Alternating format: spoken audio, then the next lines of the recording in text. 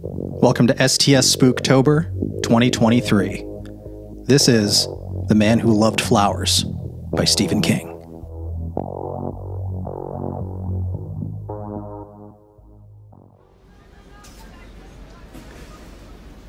On an early evening in May of 1963, a young man with his hand in his pocket walked briskly up New York's 3rd Avenue.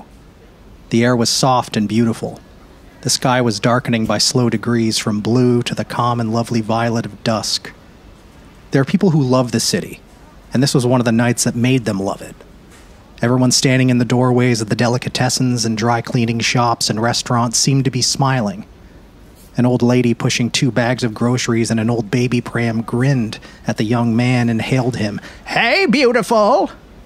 The young man gave her a half smile and raised his hand in a wave. She passed on her way, thinking, he's in love. He had that look about him. He was dressed in a light gray suit, the narrow tie pulled down a little, his top collar button undone. His hair was dark and cut short. His complexion was fair, his eyes a light blue. Not an extraordinary face, but on this soft spring evening, on this avenue, in May of 1963, he was beautiful and the old woman found herself thinking with a moment's sweet nostalgia that in spring, anyone can be beautiful. If they're hurrying to meet the one of their dreams for dinner, and maybe dancing after. Spring is the only season when nostalgia never seems to turn bitter, and she went on her way glad that she had spoken to him, and glad that he had returned the compliment by raising his hand in half salute. The young man crossed 63rd Street walking with a bounce in his step and that same half smile on his lips. Partway up the block, an old man stood beside a chipped green handcart filled with flowers. The predominant color was yellow, a yellow fever of jonquils and late crocuses. The old man also had carnations and a few hothouse tea roses, mostly yellow and white. He was eating a pretzel and listening to a bulky transistor radio that was sitting kitty corner on his handcart. The radio poured out bad news that no one listened to. A hammer murderer was still on the loose. JFK had declared that the situation in a little Asian country called Vietnam, Vietnam, the guy reading the news called it, would bear watching. An unidentified woman had been pulled from the East River. A grand jury had failed to indict a crime overlord in the current city's administration's war on heroin. The Russians had exploded a nuclear device. None of it seemed real. None of it seemed to matter. The air was soft and sweet. Two men with beer bellies stood outside a bakery, pitching nickels and ribbing each other. Spring trembled on the edge of summer, and in the city, summer is the season of dreams. The young man passed the flower stand, and the sound of the bad news faded. He hesitated, looked over his shoulder, and thought it over. He reached into his coat pocket and touched the something in there again. For a moment, his face seemed puzzled, lonely, almost haunted. And then, as his hand left the pocket, it regained its former expression of eager expectation. He turned back to the flower stand, smiling. He would bring her some flowers. That would please her. He loved to see her eyes light up with surprise and joy when he brought her a surprise. Little things, because he was far from rich. A box of candy, a bracelet, only once a bag of Valencia oranges, because he knew that they were Norma's favorite. My young friend, the flower vendor said, as the man in the gray suit came back, running his eyes over the stock in the handcart. The vendor was maybe 68, wearing a torn gray knitted sweater and a soft cap in spite of the warmth of the evening.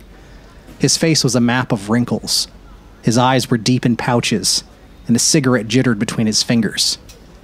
But he also remembered how it was to be young in the spring, young and so much in love that you practically zoomed everywhere.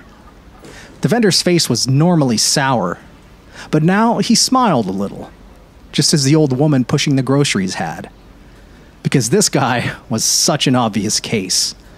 He brushed pretzel crumbs from the front of his baggy sweater and thought, if this kid were sick, they'd have him in intensive care right now. Uh, how much are your flowers? The young man asked. I'll make you a special bouquet for a dollar. These nice tea roses. They're hothouse. Cost little more, 70 cents a piece. I sell you half a dozen for $3.50. Expensive, the young man said. Oh, nothing comes cheap, my young friend. Didn't your mother ever teach you that? The young man grinned. she might have mentioned it. Sure, sure she did. Ah, I give you half a dozen. Two red, two yellow, two white. Can't do no better than that, can I? I put in some baby's breath. They love that. And fill it out with some fern. Nice. or you can have the bouquet for a dollar. They? The young man asked, still smiling. My young friend, the flower vendor said, flicking his cigarette butt into the gutter and returning the smile. no one buys flowers for themselves in May. It is a national law. you understand what I mean. The young man thought of Norma, her happy, surprised eyes, and her gentle smile, and he ducked his head a little. I guess I do at that, he said. Sure, you do. what do you say? Well, uh, what do you think? Hmm, I'm going to tell you what I think. Hey, advice is still free, isn't it? The young man smiled and said, I guess it's the only thing left that is. You're damn tootin' it is. okay, my young friend. If the flowers are for your mother, you get the bouquet. A few jonquils, a few crocuses, some lily of the valley. She don't spoil it by saying, Oh, Junior, I loved them. How much did they cost? Oh, that's too much. Don't you know enough not to throw your money around? the young man threw his head back and laughed. the vendor said, But if it's your girl, that's a different thing, my son, and you know it. You bring her the tea roses, and she don't turn into an accountant. you take my meaning. Hey, she's gonna throw her arms around your neck. I'll take the tea roses, the young man said. And this time, it was the flower vendor's turn to laugh. The two men pitching nickels glanced over, smiling. Hey, kid! One of them called. You want to buy a wedding ring cheap? I'll sell you mine. I don't want it no more. The young man grinned and blushed to the roots of his dark hair. The flower vendor picked out six tea roses, snipped the stems a little, spritzed them with water, and wrapped them in a large conical spill. Tonight's weather looks just the way you'd want it, the radio said. Fair and mild, temps in the mid to upper 60s, perfect for a little rooftop stargazing, if you're the romantic type. Enjoy, Greater, New York. Enjoy. The flower vendor scotch taped the seams of the paper spill and advised the young man to tell his lady that a little sugar added to the water should preserve them a little longer. I'll tell her, the young man said. He held out a $5 bill. Thank you, Uh, just doing my job, my young friend.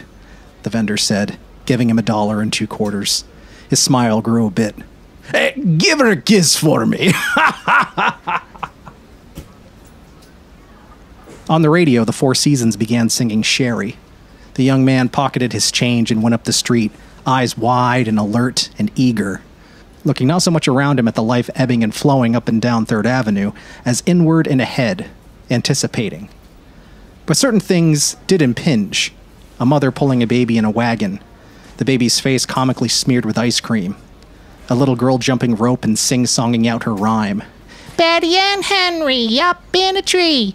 K I S S I N G. First comes love, then comes marriage. Here comes Henry with the baby carriage. Two women stood outside a washateria, smoking and comparing pregnancies. A group of men looking into a hardware store window at a gigantic color TV with a four figure price tag. A baseball game was on, and all the players' faces looked green. The playing field was a vague strawberry color, and the New York Mets were leading the Phillies by a score of 6 to 1 in the top of the ninth.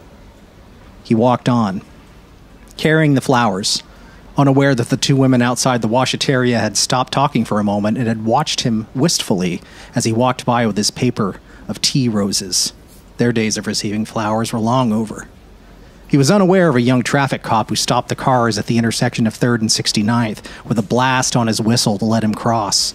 The cop was engaged himself and recognized the dreamy expression on the young man's face from his own shaving mirror when he had often seen it lately. He was unaware of the two teenage girls who passed him going the other way and then clutched themselves and giggled. At 73rd Street, he stopped and turned right. This street was a little darker, lined with brownstones and walk down restaurants with Italian names. Three blocks down, a stickball game was going on in the fading light. The young man did not go that far. Half a block down, he turned into a narrow lane. Now the stars were out, gleaming softly, and the lane was dark and shadowy, lined with vague shapes of garbage cans. The young man was alone now. No, not quite. A wavering yowl rose in the purple gloom, and the young man frowned. It was some tomcat's love song, and there was nothing pretty about that. He walked more slowly and glanced at his watch. It was quarter of eight, and Norma should be just. Then he saw her, coming towards him from the courtyard, wearing dark blue slacks and a sailor blouse that made his heart ache. It was always a surprise seeing her for the first time. It was always a sweet shock. She looked so young. Now his smile shone out, radiated out, and he walked faster. Norma! he said. She looked up and smiled, but as they drew together, the smile faded. His own smile trembled a little, and he felt a moment's disquiet. Her face over the sailor blouse suddenly seemed blurred. It was getting darker now. Could he have been mistaken? Well, surely not. It was Norma. I brought you flowers, he said in a happy relief and handed the paper spill to her.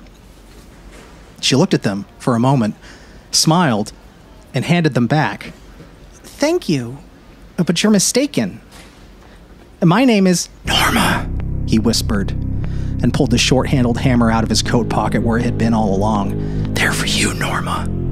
It was always for you. All for you. She backed away, her face a round white blur, her mouth an opening black O of terror. And she wasn't Norma. Norma was dead. She had been dead for 10 years, and it didn't matter because she was going to scream, and he swung the hammer to stop the scream, to kill the scream. And he swung the hammer. The spill of flowers fell out of her hand. The spill spilled and broke open, spilling red, white, and yellow tea roses beside the dented trash cans where the cats made alien love in the dark, screaming in love, screaming, screaming. He swung the hammer, and she didn't scream, but she might scream because she wasn't Norma. None of them were Norma, and he swung the hammer, swung the hammer, swung the hammer. She wasn't Norma, so he swung the hammer as he had done five other times.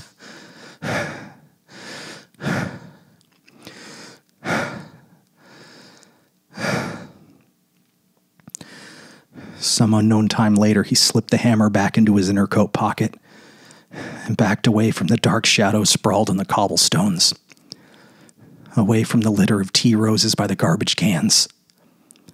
He turned and left the narrow lane. It was full dark now. The stickball players had gone in. If there were bloodstains on his suit, they wouldn't show not in the dark, not in the soft late spring dark. And her name had not been Norma, but he knew what his name was. It was. was love. His name was Love. And he walked those dark streets because Norma was waiting for him. And he would find her someday soon. He began to smile. A bounce came into his step as he walked down 73rd Street. A middle aged couple sitting on the steps of their building watched him go by, head cocked, eyes afar away, a half smile on his lips. When he had passed by, the woman said, How come you never look that way anymore? Huh? Nothing, she said. But she watched the young man in the gray suit disappear into the gloom of the encroaching night and thought that if there was anything more beautiful than springtime, it was young love. The end.